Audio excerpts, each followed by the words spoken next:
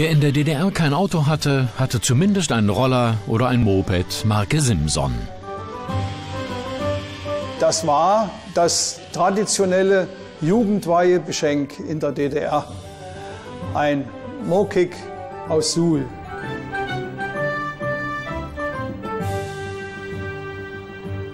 Simson, das war was. Das war doch im Territorium der größte Betrieb. Man hat eben den echten Bezug zum Werk gehabt. Das war eben das zweite Leben, war das. Und äh, im Grunde genommen habe ich für diesen Betrieb gelebt.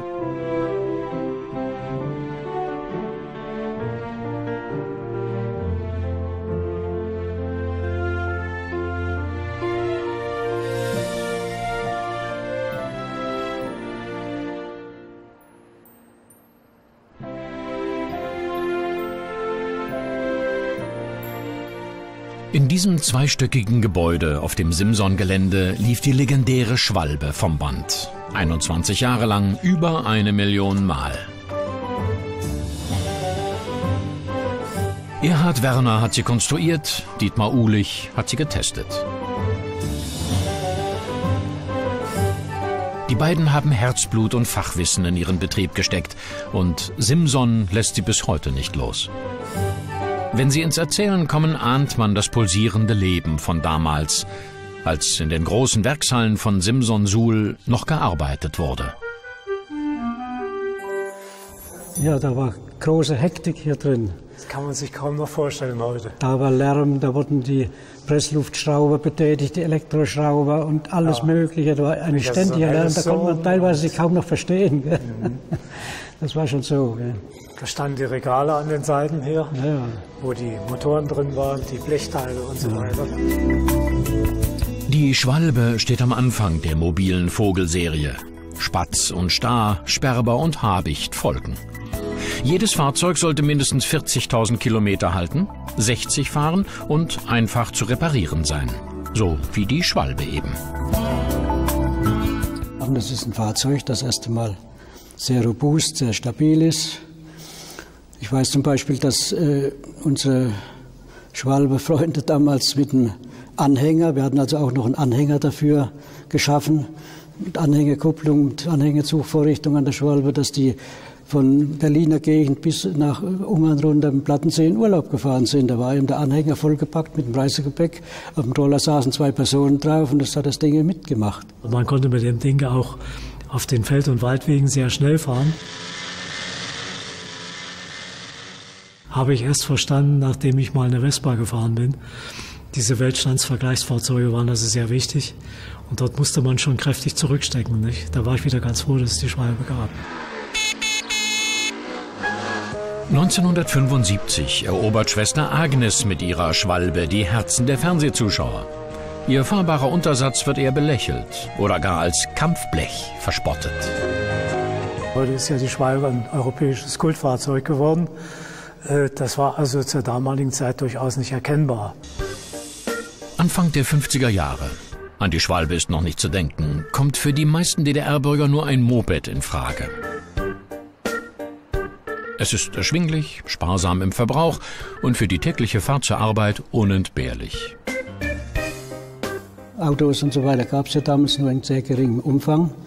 Und da kam immer wieder der Wunsch, ja, wir werden immer so schmutzig, wenn das Regenwetter ist und so weiter.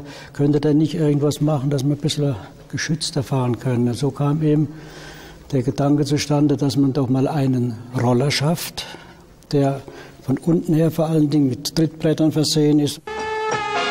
Er fährt wie von allein. Genau das Richtige für ihn.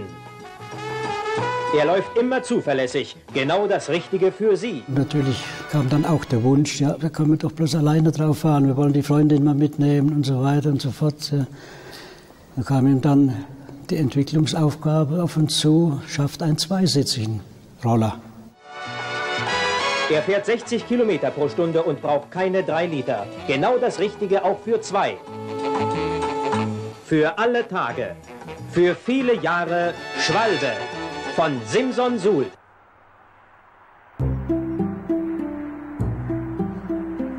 (1856) gründen die Simsons ein Unternehmen in Suhl. Sie sind eine alteingesessene jüdische Familie. Produziert wird alles Mögliche. Autos, Haushaltsgeräte, Waffen. Und Simson ist einer der größten Fahrradhersteller Deutschlands. Diese Gemischtwarenfabrik boomt und sichert Generationen von Sulern ihr Auskommen. Das war schon bei unseren Großeltern, bei unseren Eltern. Das war nicht Simson, das war Ben Jüd.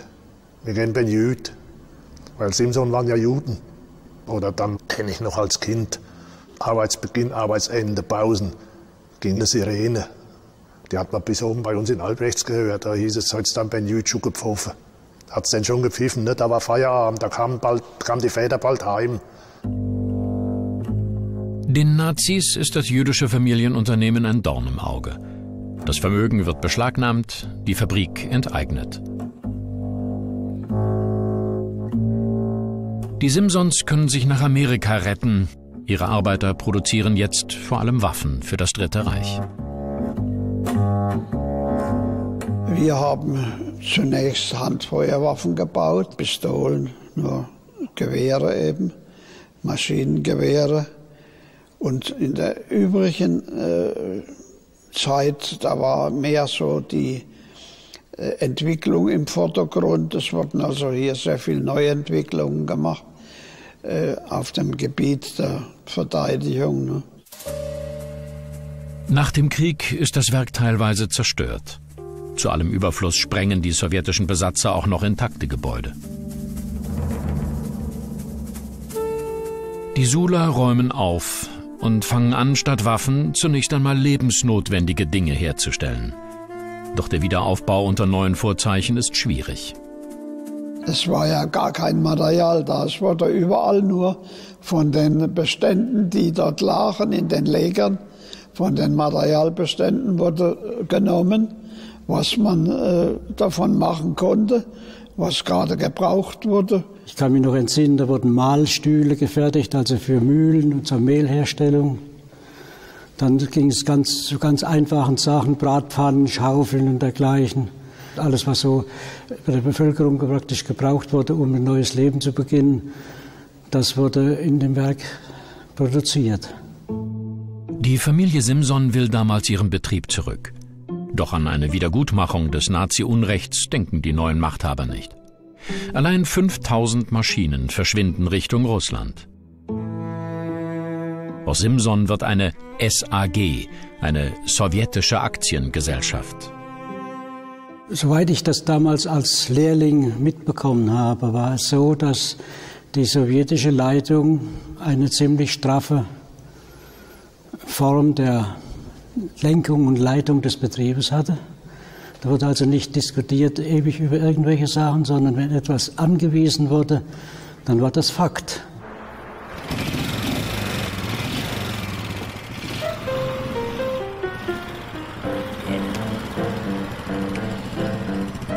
In die Entwicklung dieses Motorrades stecken die sowjetischen Auftraggeber sagenhafte drei Millionen Mark.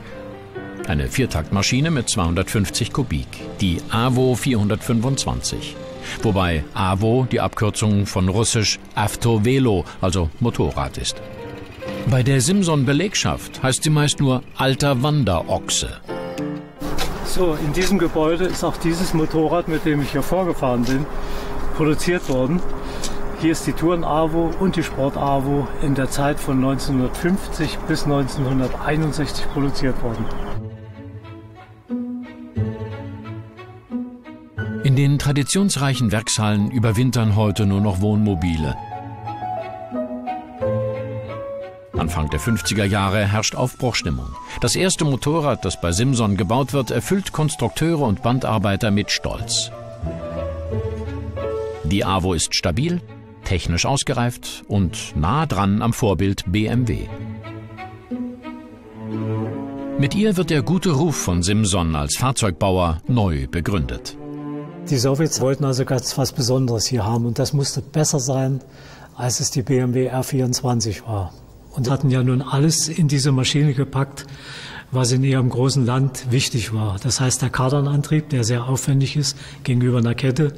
Sie wollten eine Viertaktmaschine haben und äh, natürlich einen Molybdänstahlrohr haben. Das geht bis hin zum äh, Sattel, der einstellbar ist bei der AVO gegenüber der BMW und wollte alles ein bisschen besser machen. Und das hat man noch erreicht, aber das kostet ja alles Geld. 1950 sind ja die ersten 25 Maschinen vorgestellt worden der Öffentlichkeit. Das weiß ich noch sehr gut. Da waren die Lehrlinge waren wir natürlich sehr neugierig und haben das nach allen Seiten beschnüffelt und beguckt.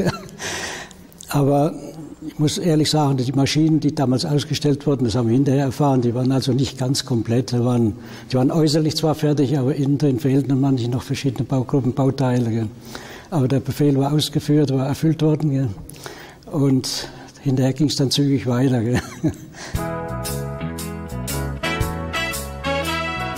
Die Maschine entspricht mit ihren robusten Details den Vorstellungen der sowjetischen Auftraggeber. Und sie sieht gut aus.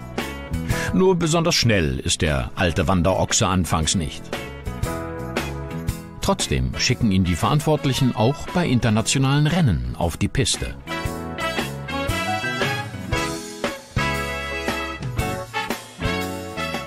Das begann eigentlich 1951 mit einem Befehl des sowjetischen Generals, der das Sagen hatte. Der wollte, dass Motorsport getrieben wurde und so wurde dann eine Sportabteilung gegründet, äh, die Straßenrennen, Motocross und Motorradgeländesport betrieben hat. Die Simson-Sportabteilung fehlt fortan bei keinem wichtigen Rennen. Vor allem während der Mittelgebirgsfahrten können Männer zeigen, dass sie ganze Kerle sind, wie die Filmhelden amerikanischer Western, die im Osten bis dahin tabu waren. Doch 1963 kämpfen die glorreichen Sieben für die Rechte der unterdrückten mexikanischen Landbevölkerung, auch im Thüringischen. Ich habe die glorreichen Sieben natürlich gesehen. Ich habe mich auch schon nachts um eins nach Kinokarten angestellt. Äh, das war der erste Western, der überhaupt in der DDR lief und das war natürlich das Highlight. Der Landfilm kam einmal in der Woche ins Dorf und da wurde im Saal oben wurden, äh, die Vorführgeräte aufgebaut und dann äh, war zu diesem Film natürlich der Saal proppenvoll, da ging nicht alles rein. Das war also mal der Festsaal des Simson Clubhauses und was man jetzt nicht aber ohne weiteres sieht, es war auch mal ein Kino. Und hier lief 1963 der Film Die glorreichen Sieben mit Steve McQueen.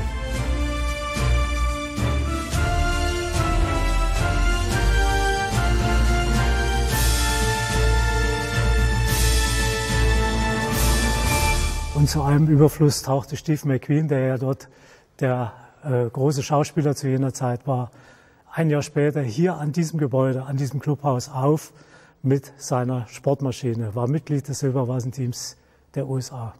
Ein Filmstar der dekadenten westlichen Welt, so nannte man das damals, und äh, noch dazu so etwas Populäres darstellend wie ein Wildwestfilm. Das war nicht im Sinne von der Parteiführung, dass da äh, Sympathien aufgebaut wurden. Da kriegte die Presse einfach Maulkorb. Sie haben in keiner äh, Zeitung hier irgendwie ein Bild gefunden von diesem prominentesten Teilnehmer der Six Days in Erfurt. Steve McQueen in der DDR. Eine Sensation. Und ausgerechnet in Suhl auf dem Simson-Gelände während des Sechstagerennens. 1913 hatten die Six Days in England Premiere. 50 Jahre später ist der Rennzirkus endlich im Osten. Die Obrigkeit sonnt sich gern im Scheinwerferlicht der internationalen Presse, doch sie hat auch ihre Probleme damit. Westjournalisten nutzen die Gelegenheit, sich hinter dem eisernen Vorhang umzuschauen. Und zum ersten Mal tritt eine amerikanische Mannschaft bei einer Veranstaltung im Ostblock an. Und dann gleich mit einem Hollywood-Star. Ich habe den Mann auch leibhaftig gesehen und war natürlich, damals war ich 17, da war ich natürlich auch begeistert. In der Firma, wo ich dann gerade gelernt habe, war eine Zeitkontrolle. Da musste ja jeder Fahrer anhalten und dann wurde die Fahrerkarte gestempelt. Und das war der Moment, wo er anhalten musste, Brille runter tun und die Karte vorzeichnen. Und da war bei McQueen halt zum Beispiel üblich, dass er schon irgendeine Kippe wieder zwischen den Lippen hatte. Und zwar natürlich auch äh, bemerkenswert äh, für einen Mann, der eigentlich mit Filmemachen Millionen verdient hat, sich so einer Schinderei zu unterziehen. Denn eine Sechs-Tage-Fahrt noch dazu mit so einem Motorrad, was er gefahren hat, das ist schon richtig, richtig harte körperliche Anstrengung. Und das zeigt eigentlich auch, dass er ein richtiger Sportsmann war.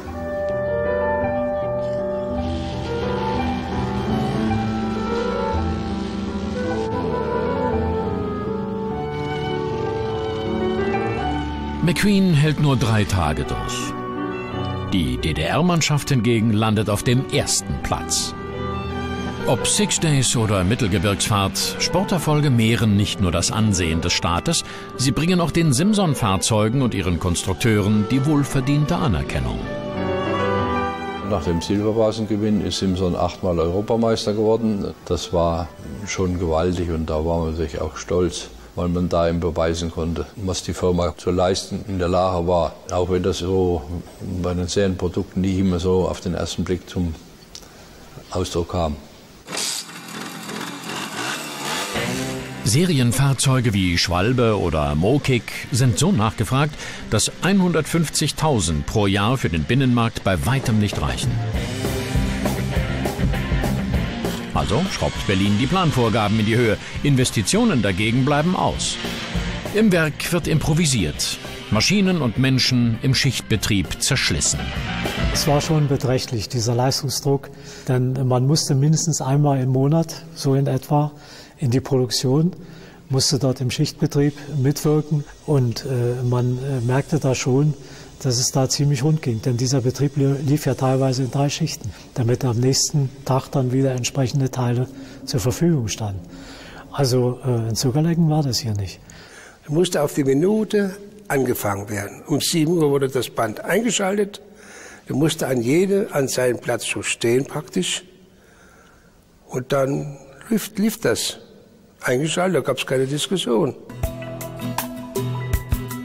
Auch die Lehrer aus der betriebseigenen Schule müssen ran, wenn Sonderschichten notwendig sind. Ich habe stundenweise am Motorband ausgeholfen in der Sonderschicht. Also ich war heilfroh, als meine Zeit rum war. Also das ist wirklich absoluter Stress, weil eben das Band eine bestimmte Geschwindigkeit gelaufen ist. Am Band herrscht nicht nur Stress, sondern auch Monotonie. Daher fängt Simson Ende der 70er Jahre in der Lehrwerkstatt mit einer sogenannten Nestfertigung an. Drei, vier Jugendliche arbeiten Hand in Hand und fertigen einen kompletten Motor in der Gruppe. Das kommt bei den jungen Leuten gut an und in ihrem Nest schaffen sie auch höhere Stückzahlen. Eine Nestfertigung modernsten Standes, wo dann die Leute austauschbar waren. Nicht? Das war also ein bisschen äh, äh, den Leuten gegenüber auch ein Fortschritt, die jetzt nicht immer ein und dieselbe monotone Tätigkeit ausführen mussten, sondern äh, die beherrschten eigentlich alle Arbeitsschritte, die dort vonstatten gingen und man wechselte dort auch wöchentlich teilweise. Und nach weniger als einem halben Jahr hat das so gut funktioniert und die Lehrlinge waren so begeistert, dass wir überzeugt waren, dass das die Zukunft der Motorenfertigung ist. Ein paar Motoren mehr in den insgesamt sieben Nestern lösen allerdings nicht das Hauptproblem. Bei Simson wird nach wie vor zu wenig und zu teuer produziert. So ein Kleinkraftrad, die haben dann im Laden so um die 1500, 1550 gekostet. Der Betriebspreis lag meistens deutlich höher. Deutlich höher. Sicher über 2000. Also das waren bewusste Entscheidungen, das Fahrzeug so abzugeben. Ganz bewusste Entscheidungen, die auch nicht bei uns im Betrieb allein getroffen wurden. Das fand dann in großen Preiskommissionen statt, meistens in Berlin. Da saß eine honorige Runde zusammen und letzten Endes hieß die Frage, Genossen, was können wir denn dafür verlangen? Und dann wurde ein Preis geschossen, kann ich mal so sagen. Er wurde festgelegt, ohne die, dass die die Kalkulation einmal ins Auge gefasst hatten, nur um in ein Preislevel zu kommen, dass keine Diskussionen in der Bevölkerung entstanden. Auch ins Ausland werden die Fahrzeuge aus dem Sula-Werk weit unter Wert verkauft. Rund ein Viertel der Jahresproduktion geht in den Export. 50.000 Fahrzeuge sollten exportiert werden. Davon wurden etwa 20.000 in die sozialistischen Länder verteilt. Da musste man nicht groß exportieren, denn die Wünsche äh, der Bruderländer waren viel, viel größer und wurden nie in vollem Umfang berücksichtigt. Und 30.000 sollten in das nichtsozialistische Wirtschaftsgebiet exportiert werden. Das war allerdings eine Zielstellung, die selten bis nie erreicht wurde. Der Westkatalog von 1969 garniert den Spatz mit Superlativen. Geringster Verschleiß, größte Wartungsfreiheit. Und doch werden die Sula kräftig im Preis gedrückt. Es wurde also gesagt, wenn ihr im Osten bei uns ein Fahrzeug verkaufen wollt, dann müsst ihr uns das ganz billig geben, damit wir das auch billig verkaufen können und so weiter. Es war immer so ein bisschen der Jargon da, ne, eure Fahrzeuge, die tauchen da sowieso nicht viel.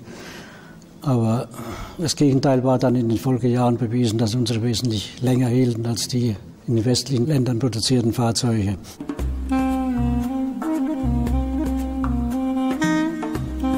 Simson macht auch Geschäfte mit Afrika. Mit Mosambik zum Beispiel, mit Angola und Ägypten. Und von dort kommen sogenannte Vertragsarbeiter nach Suhl. Das hatte natürlich immer den Hintergrund, dass man auch mal Fahrzeuge dort produzieren wollte oder dorthin exportieren wollte. Und dort brauchte man ja Fachleute. Also so ganz äh, losgelöst äh, und edelmütig war man ja auch nicht.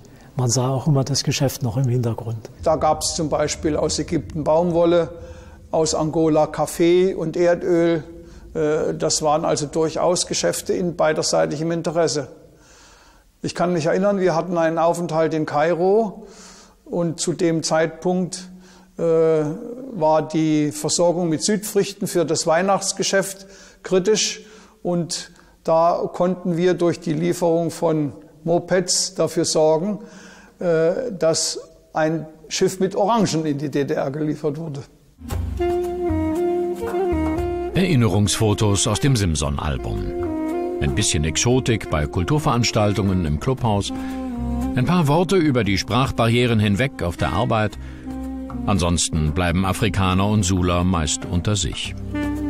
Man hat also auch algerische Arbeitskräfte hier in diesem Betrieb beschäftigt. Die waren hier in äh, irgendwelchen äh, betriebseigenen Heimen untergebracht. Die waren sozusagen unter sich. Und äh, es gab Messerstechereien und es gab auch Streiks. Äh, äh, da war man die hell entsetzt, weil man damit überhaupt keine Erfahrung hatte. Und ich bilde mir ein, dass gerade diese Situation, dass man also die Leute nicht integriert hat, auch zur Fremdenfeindlichkeit nach der Wende beigetragen hat. Der alte Pavillon auf dem Simson-Gelände kündet von vergangenen Zeiten, als der Betrieb noch zu den größten Arbeitgebern der Region zählte. Als auf Schienen die Waggons die Kleinkrafträder zum benachbarten Güterbahnhof brachten. Als 3500 Thüringer hier in Lohn und Brot standen.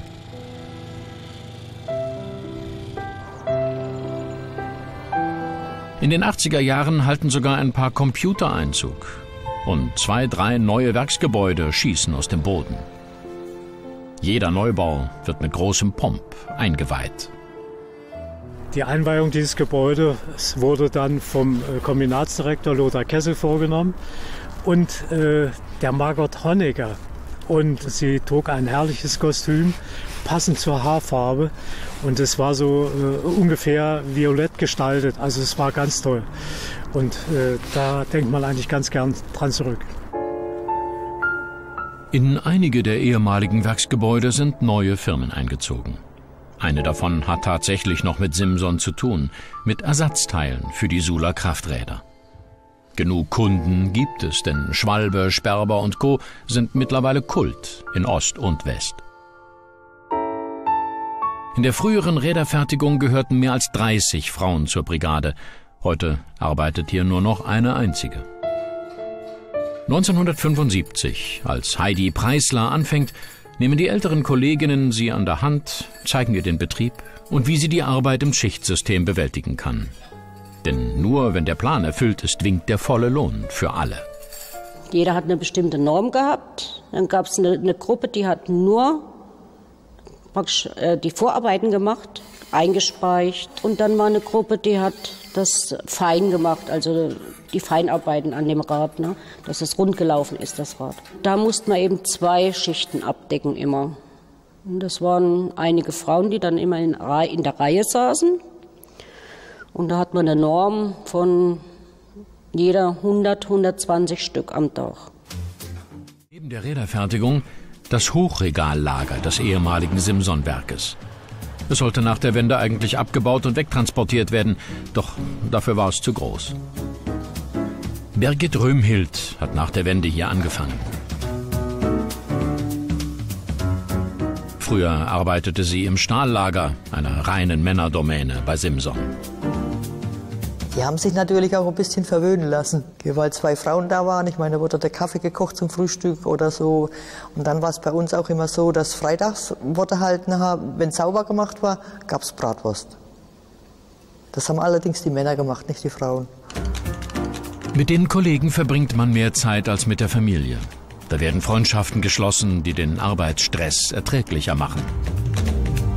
Die Zusammengehörigkeit, die war halt da. Jeder hat einen anderen geholfen und wenn auch, auch privat gab es da mal Sachen, da hat man sich halt auch mal getroffen oder halt die Feiern, die man gemacht hat innerhalb der Brigade, da war eben jeder dabei. Wir haben uns auch mal abends getroffen, mal irgendwo bei jemandem im Garten oder mal gefeiert und wenn Geburtstage waren, haben wir auch mal auf der Arbeit gefeiert.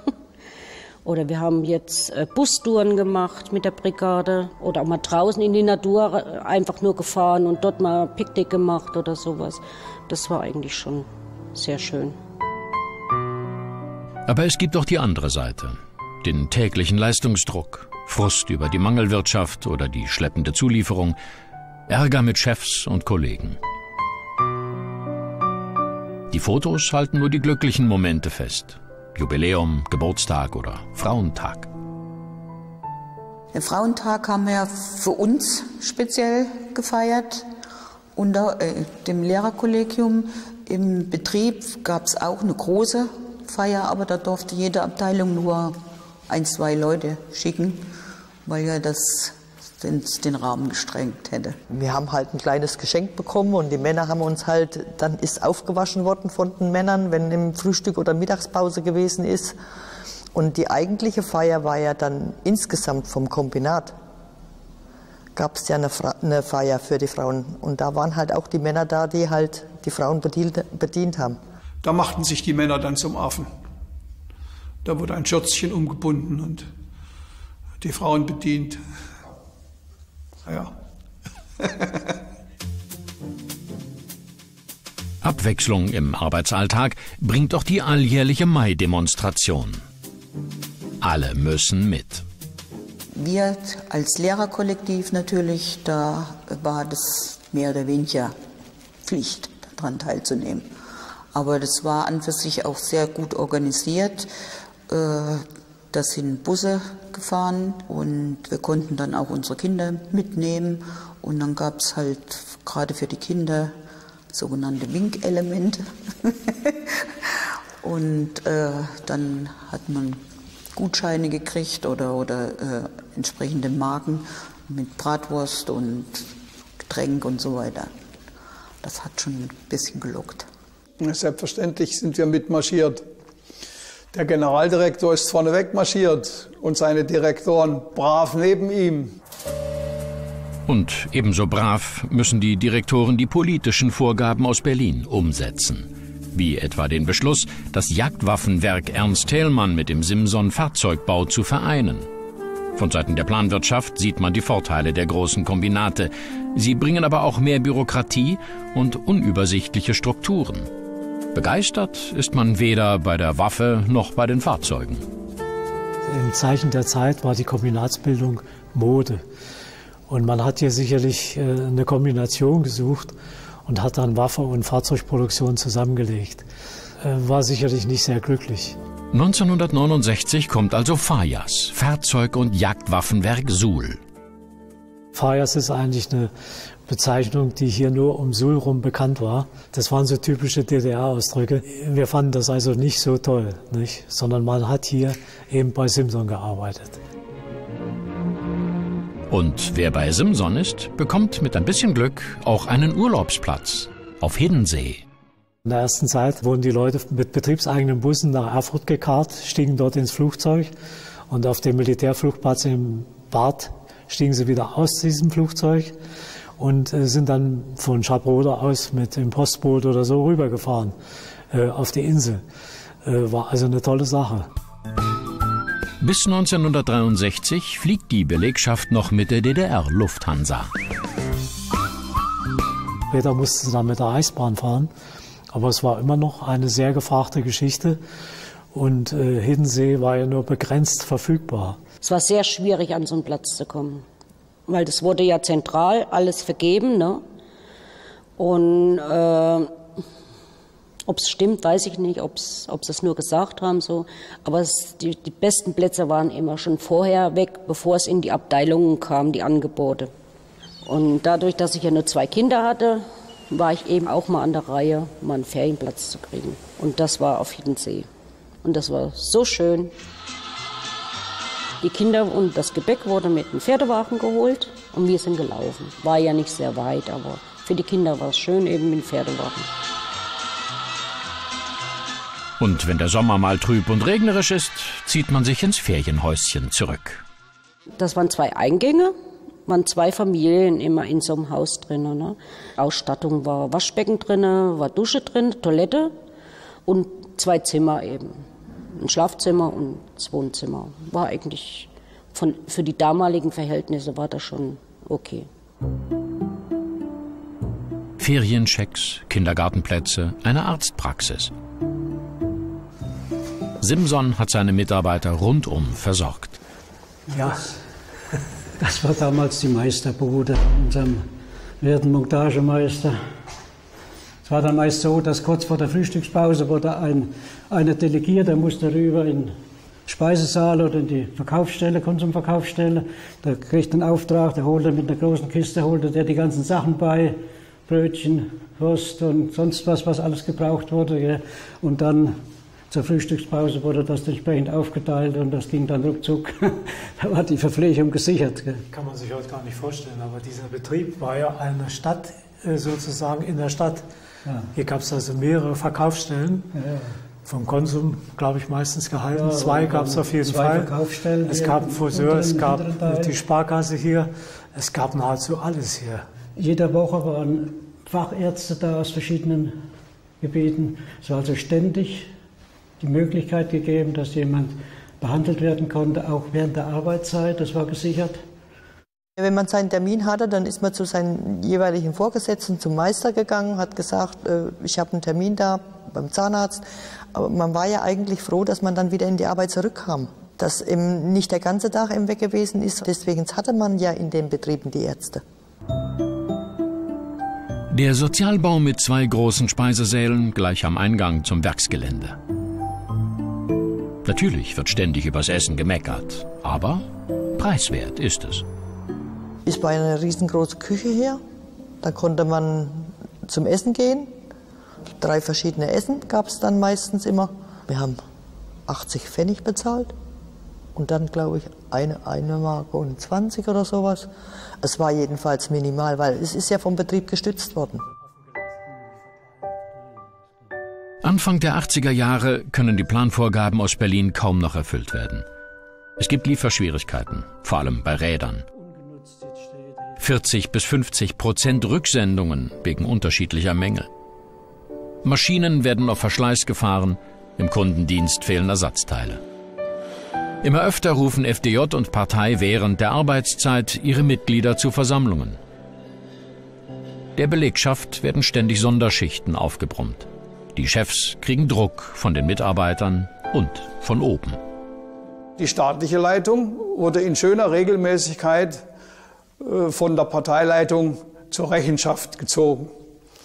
Immer wenn etwas schief ging, war natürlich ein staatlicher Leiter schuld, sodass ich während meiner Tätigkeit als Direktor für Produktion eine erkleckliche Anzahl von Rügen und Missbilligungen vorweisen kann. Vorgeworfen wurde uns dass wir die umfassende Planerfüllung nicht mit dem nötigen Nachdruck durchgesetzt haben. Da wurde man schon erheblich unter Druck gesetzt. Die, wenn dann die Diskussionen zu sehr ausarteten, dann wurde immer die Frage gestellt, bist du nur für den Frieden oder nicht? So, dann gehen wir mal in die Lackiererei. Die Lackiererei ist ein unangenehmer Arbeitsplatz. Heiß und feucht, die Luft voll mit chemischen Dämpfen. Ah ja. Nur, dass diese Leuchten alle noch erhalten sind. Ja, das ist erstaunlich. Sieht auch noch diese speziellen Lampen hier in der Abteilung, die waren explosionsgeschützt. Dass also, falls hier mal brennbare Dämpfer entwichen, dass da nichts passieren konnte. Ja. ja, da waren große Farbbottiche, die dann hin und her geschoben werden konnten zum Farbwechsel. Wer hier Tag für Tag den Lackdämpfen ausgesetzt ist, bekommt Atemprobleme. Von der Umweltverschmutzung ganz zu schweigen. Das war natürlich vom Lackdunst her sehr unangenehm. Also wenn man hier reinkam, es waren ja offene Flächen. Man hat es schon gerochen, was hier so vor sich ging. Und äh, je nachdem, was gerade lackiert wurde, man konnte das am Dach sehen ganz früher, das bekam dann die Farbe von dem, was gerade lackiert wurde. Nicht? Die Absaugung das nach oben rausgetrieben hat. die Absaugung hat es übers Dach Hat sich dann ja. niedergeschlagen. Genau.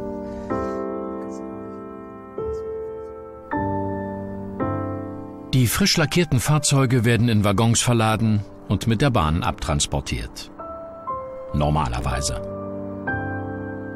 Wenn hier irgendein großartiges Herbstmanöver lief, der Warschauer Paktstaaten, dann waren eben keine Waggons mehr da. Und dann standen die Fahrzeuge hier in den Parks herum und äh, standen im Schnee und konnten nicht abtransportiert werden. Die Fahrzeuge sind dann sehr schnell korrigiert, weil eben auch das Heizkraftwerk teilweise äh, Dinge äh, äh, ausgespuckt hat, die in Verbindung mit dem Regen hier, zum Teil saurer Regen fiel, dass die Fahrzeuge also anfingen, äh, dort letzten Endes Schaden zu nehmen.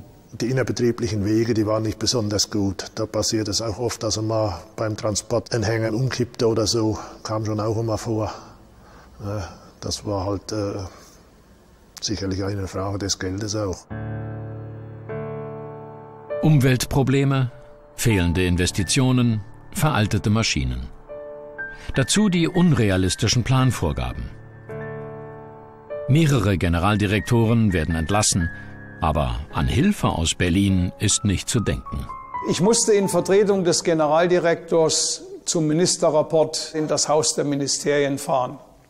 Ich durfte dort die Situation in unserem Kombinat darstellen und habe alle die Probleme, die einer umfassenden Planerfüllung im Wege standen, dem Staatssekretär, der diesen Rapport entgegennahm, dargelegt. Nachdem ich meine äh, Ausführungen beendet hatte, war eine kurze Stille und dann sagte der Staatssekretär den für mich verblüffenden Satz, wird nicht zur Kenntnis genommen.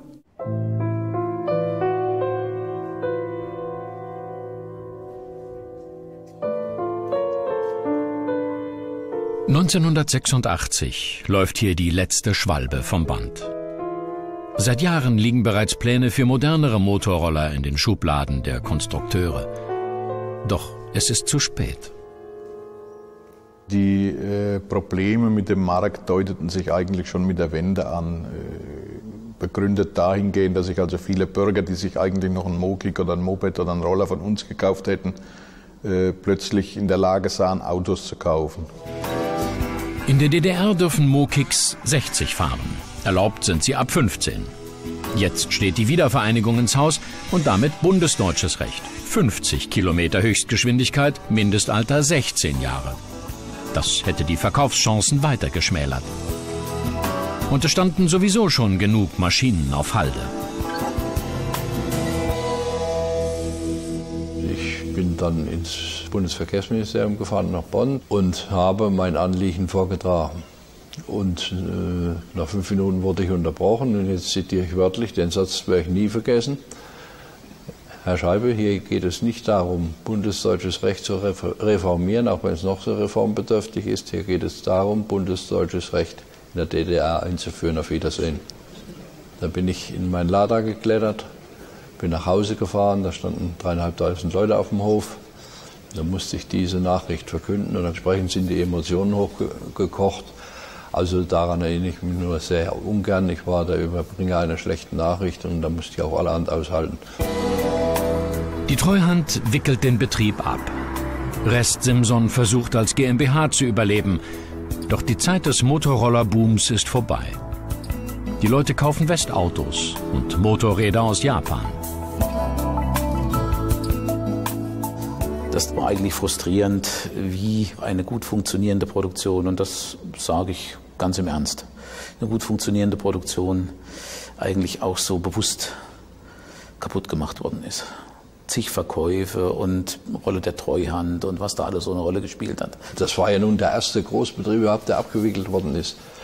Äh, kein Mensch hatte eine Ahnung, was da passiert. Viele haben gedacht, sie fallen ins Bodenlose. Äh, all die Lösungen, die dann geschaffen wurden, das wusste ja in der DDR keiner so richtig, wie das geht. Also für viele war damit die Welt zusammengebrochen.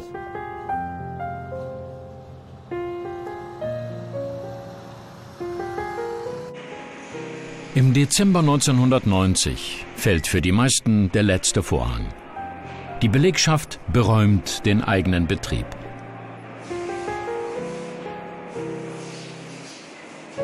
Was verkauft werden kann, wird zu Geld gemacht, der Rest verschrottet.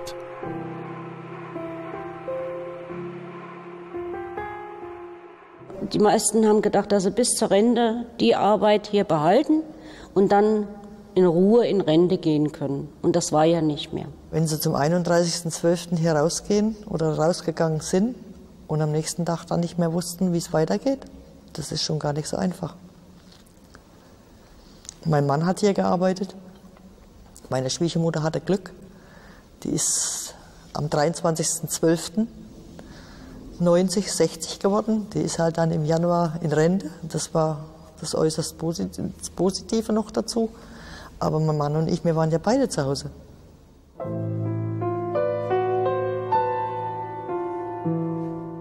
Mit dem Aus für Simson geht die 150-jährige Firmengeschichte zu Ende. Geblieben sind die Fahrzeuge, die mittlerweile Kultstatus haben, wie die Schwalbe oder die AWO. Aus dem weitläufigen Gelände ist ein Gewerbepark geworden. Doch als großer Industriestandort hat Suhl seine Bedeutung eingebüßt. Die Tatsache, dass der Betrieb den Bach hinunter ist und in der Zwischenzeit ja sogar zum großen Teil dem Erdboden gleichgemacht worden ist, das erfüllt mich mit Wehmut. Eine ganze Menge Traurigkeit war da schon dabei, dass, dieses, dass das nicht mehr existiert.